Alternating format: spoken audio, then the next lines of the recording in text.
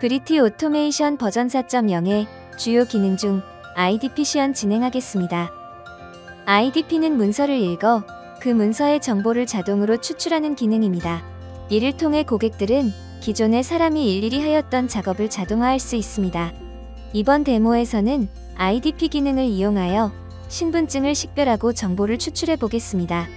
신분증을 인식하여 여권인지 운전면허증인지 식별하고 신분증에 기재된 정보를 추출하는 프로세스를 미리 정의해 놓았습니다. 첫 번째로 여권 정보를 추출하겠습니다. 프로세스 실행을 누르면 여권임을 인식하여 여권 정보를 추출하는 프로세스로 분기 이동하여 정보를 추출합니다.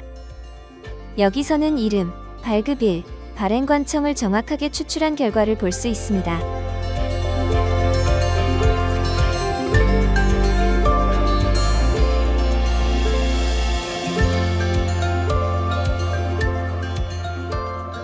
두 번째는 운전면허증입니다.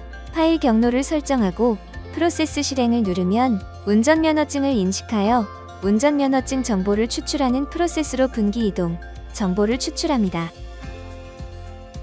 운전면허증에 기재된 이름, 주소, 주민등록번호 등이 추출된 것을 확인하실 수 있습니다. 감사합니다.